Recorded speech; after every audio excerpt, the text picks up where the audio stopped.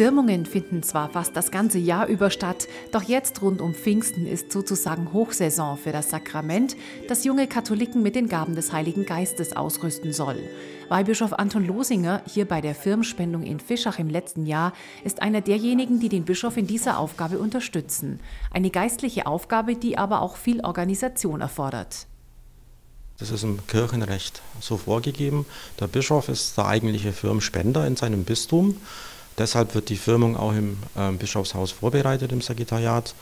Und spenden äh, darf eigentlich nur der Bischof oder von ihm beauftragte Personen. Also bei uns ist es der Bischof, bei uns sind es die Weihbischöfe und die Domkapitulare im Wesentlichen. Also insgesamt 16 Firmenspender. 1000 Pfarreien hat das Bistum, zusammengefasst in 23 Dekanate.